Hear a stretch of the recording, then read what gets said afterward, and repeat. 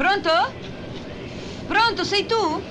Sono cinque ore che aspetto di parlarti. Stai bene? Benone! Ma no? Ho conosciuto un islandese a Parigi, un bell'uomo. Mi ha regalato un magnifico gatto persiano. È più bello il gatto di lui. Beata te che sei a Parigi. Senti, volevo sapere se hai visto François. Chi?